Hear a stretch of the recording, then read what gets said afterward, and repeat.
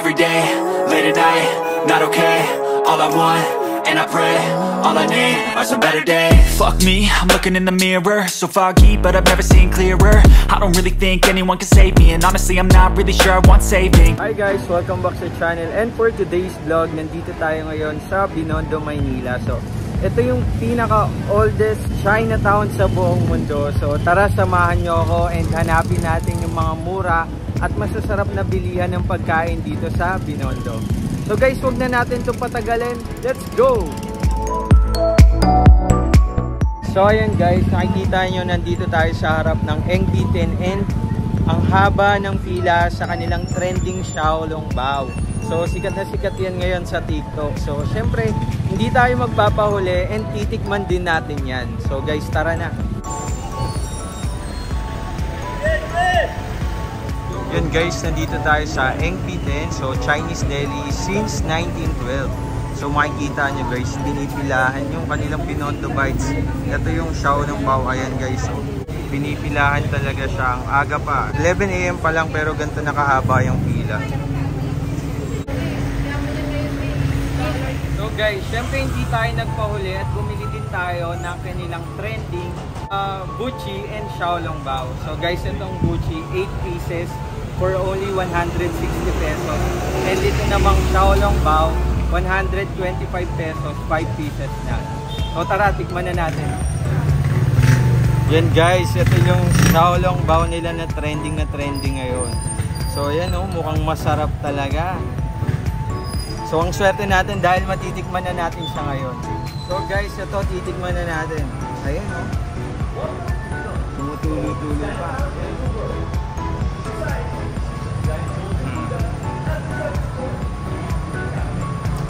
Grabe ang sarap. Worth it talaga yung pagpila natin ng mahaba dito. Guys, ito naman din yung Gucci nila na trending na trending ngayon.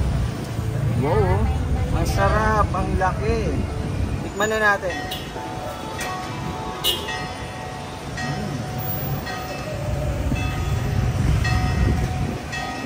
Guys, grabe, sulit na sulit talaga yung pagpila natin ng dalawang oras para dito sa kanilang Lava Bucci, pati na rin yung kanilang trending na Xiaolong Bao. Yan guys, nakikita nyo sa likod ko, pinipilahan talaga yung Xiaolong Bao nila. So ayan guys, so, nagsimula dito yung pila hanggang pupunta dito. So dito lang yan sa Engbitin. Guys, hindi kayo mabibitin dito sa Engbitin kasi ang dami yung mabibili dito guys. Guys, nandito naman tayo sa Chuan Ki, Binondo's oldest fast food since 1948. So ayan guys, makikita nyo, ito yung last line ng pila dito sa bandang to. Tapos hanggang doon sa entrance ng restaurant, marami din talagang pumipila o naghihintay para makatikim dito sa Chuan Ki. So ayan guys, grabe. Ito nga pala yung menu ng Chuan Ki, the oldest fast food in Chinatown. So ito yung mga all-time best sellers nila. So from patatim, stew pork belly, oyster cake, chunoy fried chicken. Ayan. Then ito naman yung mga other price list ng mga nasa menu nila. Ayan, per main dish, rice toppings. Ito may mga short orders din sila. And syempre hindi mawawala yung mga soup or noodles. And may mga special soup din sila guys. And yung mga dim sum special nila. Ito. Meron din silang pansit bilao and fruit shake. So ayan guys, ang, ang daming mga nakapila and ang daming kumakain dito. So gusto sana natin kumain ngayon kaso lang napakahaba ng pila ngayon. So siguro I suggest kung gusto nyo kumain dito, mas agahan nyo pa yung punta nyo dito para matikman nyo yung oldest fast food dito sa may Binondo, ang Chuan Key. Guys, isa pa sa mga pinaka-pinupuntahan dito sa Binondo, Maynila ay ang Mr. Ube. So, Rice and Noodle House. Ayan siya. Ito yung store nila sa Mayong Pin Street. And kita nyo naman marami din mga customers na nakapila o bumibili dito. Basically, Engbitin products yun din yung nandito. Pero yung restaurant nila is yung Mr. Ube. Yan guys, para may idea kayo, ito naman yung Mr. Ube Rice and Noodle House. Ito yung kanilang menu. Ito yung all day big meals nila. So ayan, may lechong Macau for only 210 pesos. Meron din mga stir-fried noodles for as low as 220 pesos. Ayan, marami kayong pagpipilian. And syempre may mga dim sum dim guys, starting sa 120 pesos. Ayan. And ito yung mga noodle soup nila. Nag-start lang sa 210 pesos. And meron din silang all-day breakfast for as low as 170 pesos. Ayan, may chicken miswa, crunchy meatballs, chicken fillet, shredded pork with century egg. And may mga short orders din sila and drinks. So guys, ito yung menu nila. And sa loob yung restaurant. Guys, tara lakad pa tayo. So ayan, nandito sa likod ko ang pinakasikat na arko ng Manila Chinatown. Ayan. Oh. So hanap pa tayo ng mga makakain natin dito. Grabe guys, pinipilahan talaga yung mga kainan dito and makikita nyo. Ang daming tao. Willing talaga sila pumila para matikman yung mga authentic Chinese food dito sa Binondo, Maynila. Guys, syempre, kilala nga ang Binondo sa kanilang food trip and meron din naman dito mga grocery stores ng mga authentic Chinese. So ito sa likod ko yung bitin. So pakita ko sa inyo kung ano yung mga bibili nyo dito. I-run through lang natin. Tara guys. Yan guys, so ang daming tao dito sa loob. Then, sorry po. Ang daming mga Chinese mga products. Magbibili natin mga herbals, mga tea, marami dito guys.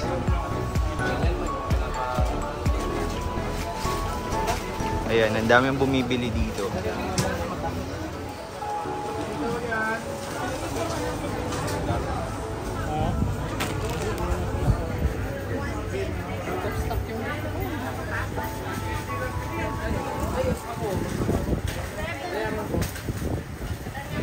Guys,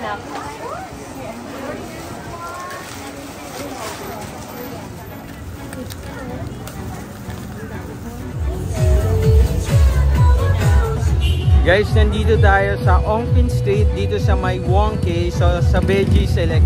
So nagtitinda sila dito guys ng mga vegetarian barbecue. So ayan nakikita nyo sa likod ko. This one is uh, Big Bird. Big Bird, ito po. Sausage. This one is rice cake. This one is tofu. Hi ka naman sa vlog ko. guys, dito sa Veggie Select, meron din silang Xiaolong Bao. Ay, walang laman so guys, ito yung Xiaolong Bao nila kasi wala nang laman yung kanina. So ito na yung finished product. Uh, vegetable Bao. 180 pesos lang. Guys, nandito tayo sa iconic bridge ng Binondo, Maynila. Ito ang kanilang Ongpin North Bridge. Guys, sigat din tong kainan na to. Guys, ito, dinadayo din to yung kanilang Estero Fast Food din guys. Oh. Dito yan sa tabi talaga ng Estero. Guys, ang daming kumakain dito. Ayan. And may mga pila din. So basically, o-order tayo dito. Ayan, sa LGA Fast Food. So ayan guys, ang daming tao. Grabe ang haba pala nito. First time kong makadaan dito guys. So yan, dyan tayo orders.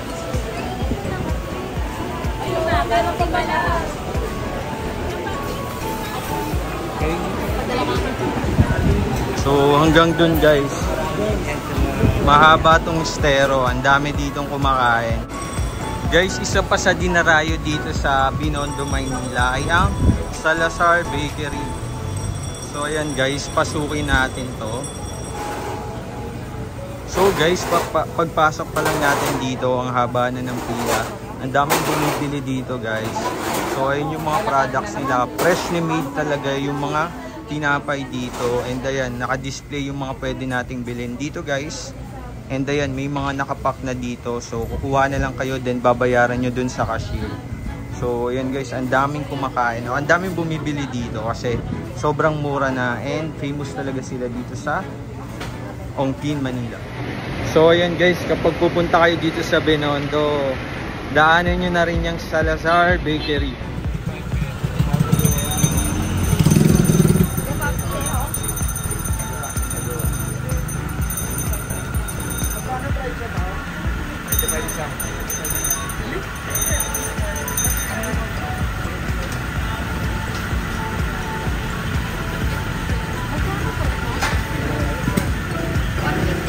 Guys, so nandito tayo sa The Original Shanghai Fried Sobaw. Nandito sa likod ko guys, makikita nyo, mahaba yung pila and dinarayo talaga siya dito sa Binondo, Maynila. Guys, ang presyo ng Shanghai Fried Sobaw dito ay 35 pesos only. Yan guys, maraming bumibili dito and marami na rin mga vloggers na nag kumain dito. So ayan, pinupuntahan talaga siya dahil ito yung pinaka-authentic fried siopaw since 1985. So, meron din sila dito mga ibang products like kikiam, shark skin siomai, siomai, matcha, bichu bichu.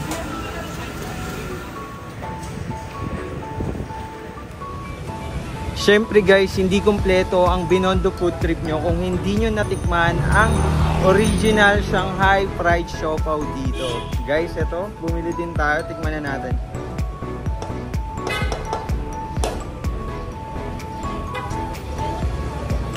Grab guys, ang sarap. Sobrang malaman talaga siya. Guys, kailangan nyo matikman to. Ang sarap talaga.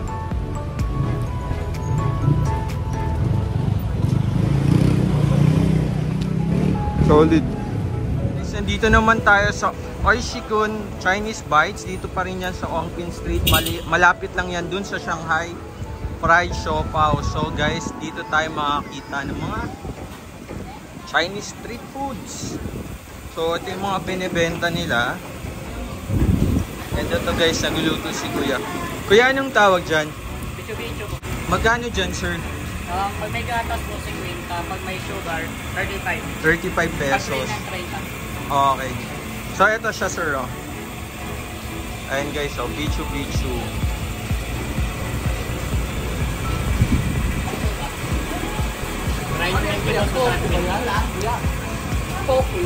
Radish po. Guys, sikat siya kanila dito, yung radish donut, yung Bichu Bichu na tinatawag. So, kapag plain lang, 30 pesos. Kapag may sugar, 35 pesos. And kapag may milk, 50 pesos naman siya. So, ganito yung itsura niya, guys, oh. Yan, nice, oh. Guys, ayun yung paggawa ng Bichu Bichu. So, kaya pala medyo lumalaki yung pinagpapatong pa nila. So, ayan, tingnan natin kung paano sa maluluto dito sa lutuan nila. Ayan.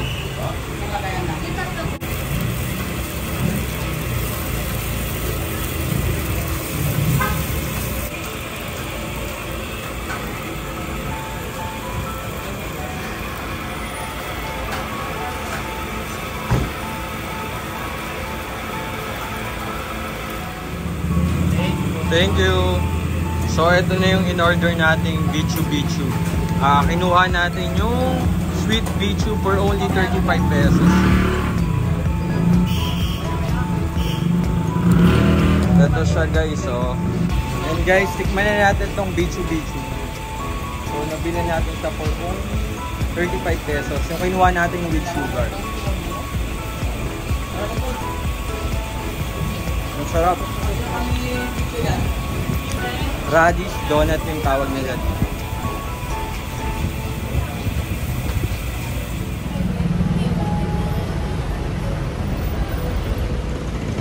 So guys, para sa ating lunch, dito tayo kakain sa Delicious Restaurant. So dito lang yan sa may Santa Cruz, Manila. So yun guys, dito sa Delicious Restaurant, marami din kumakain dito. So dito tayo magla-lunch and ipapakita ko sa inyo yung menu nila.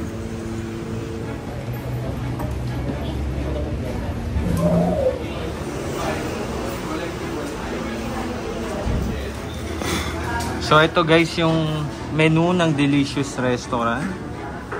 So may mga sizes yan from small to large. So, ito yun.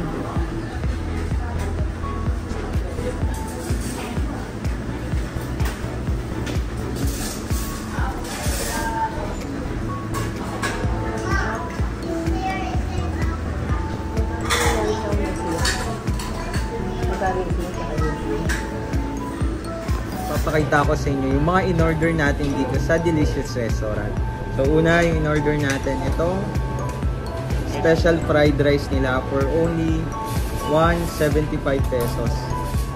Tapos, umorder din tayo ng half fried chicken for only 250 pesos. Ayun siya. And syempre, titikman din natin ang kanilang kikyang for only 145 pesos. Umorder din tayo ng kanilang specialty or bestseller na Mickey Bihon for only 220 pesos. Grabe guys, oh. Fully loaded talaga ng mga sahog. Order din tayo ng sweet and sour pork for only 280 pesos. Ito naman siya, oh. So guys, to complete our Benondo food trip, ayan, kumain tayo dito sa Delicious Restaurant. So tignan natin kung delicious ba talaga siya.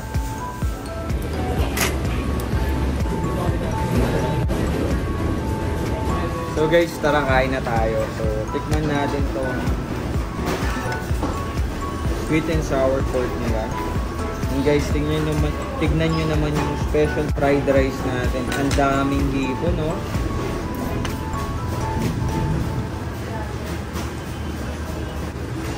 Fairness, malasa and masarap yung sweet and sour pork nila.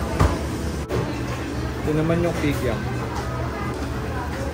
Guys, grabe. Legit yung kikyam. Masarap.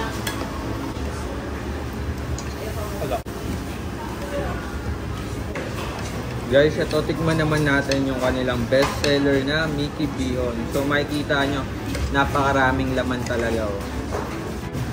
Lalaglag pa.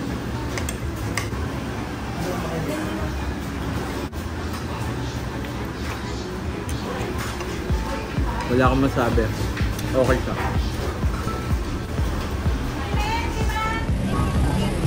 So ayun guys, kakatapos lang natin kumain sa Delicious Restaurant and delicious naman yung mga foods nila. So dito na muna natin i-end ang ating vlog. I hope nag-enjoy kayo sa ating Binondo Food Trip. And syempre guys, huwag nyo kalimutan mag-like and subscribe and i-click nyo na ang notification bell para updated kayo sa ating mga happenings. See you guys on my next vlog. Bye!